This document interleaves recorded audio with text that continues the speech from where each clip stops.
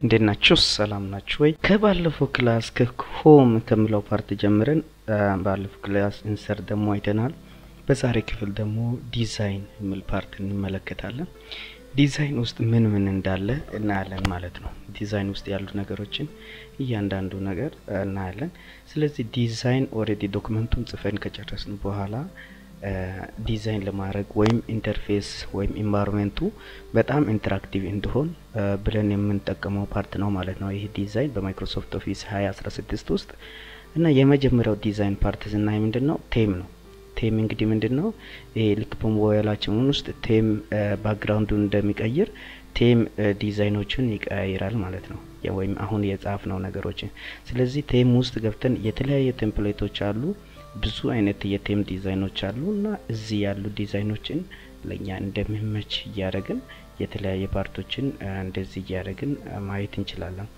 እዚህ ወረድ እያልን ብዙ አይነት theme ኦች አሉ። ስለዚህ ይህንን እየተጠቀምን ከዚህ ለእኛ የሚመች part እየመረጥን አንድ theme ከመረጥን በኋላ አሁን ለምሳሌ ይህንን መረጥኩኝ።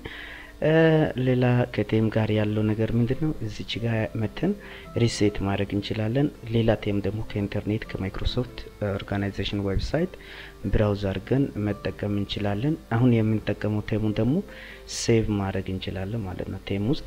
ሌላ ከዚህ ጋር ዲዛይን ውስጥ ያለው ምንድን ነው? document formatting ነው። document formatting እዚህ document formatting የሚል አለ document formatting ውስጥ እንግዲህ የተለያየ የ document formatting design እዚህ የተቀመጡ template ኦች አሉ። ከነዚህ template ኦች እንግዲህ አንዱን ተጠቅመን ለእኛ የሚመች format መጠቀም እንችላለን። ይሄ document formatting ነው። ሌላ የ document color ኦችን እዚህን መምረጥ እንችላለን። የተለያየ color ኦች አሉ። ከዚህ አንደኛው color ተጠቅመን ለእኛ እንደመቻውን color ኡን ስመርጥ ቀይረዋል ማለት ነው። ሌላው fonts የ font አይነቶች የ Office font ኦች እንግዲህ ብዙ አይነት font ኦች አሉ። ከዚህ ብዙ አይነት font ኦች ውስጥ የሚመች font በዚህ ዲዛይን ውስጥ ሆነን ባለፈው class በመጀመሪያ በ home part ላይ ያየነው ነገሮችን እንደገና እዚህ ደግሞ update ማድረግ እንችላለን ማለት ነው። okay font ኦችን መቀየር እንችላለን። ሌላ paragraph spacing አለ። እዚህ ላይ ያለው paragraph ኦቹን መካከል ያለው space አንድ paragraph ከሌላ paragraph መካከል ያለው ልዩነት ማለት ነው። አንድ paragraph እና ሌላ ባለፈው ምንድን ነው አንድ መስመር ከሌላኛው መስመር ጋር ያለው ግንኙነትና የነበረው distance ተመልክተናል። በዚህ ክፍል ደግሞ አንድ paragraph አንድ paragraph ከሌላ paragraph ጋር ያለውን gap ን በዚህ መልክ መቀየር እንችላለን። እዚህ ውስጥ ያለው ሌላ part ምንድን ነው ደግሞ ዲዛይን ውስጥ watermark ነው። watermark እንግዲህ በጣም important ነው። እኔ አሁን የራስን watermark design ከዚህ መጠቀም እንችላለሁ። አንደኛውን ከዚህ ውስጥ መጠቀም እንችላለሁ ማለት ነው።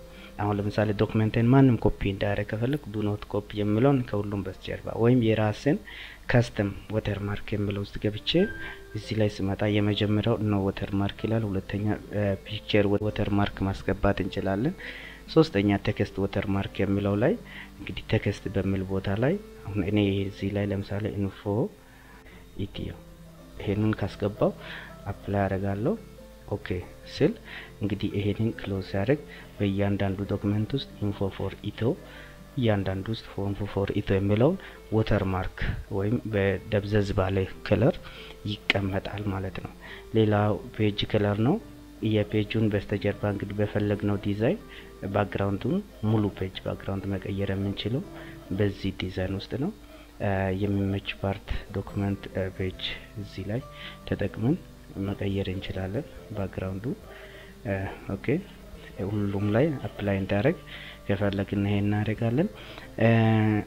page borders የሚለውን በ layout ውስጥ በሚቀጥለው ክፍል እናያለን።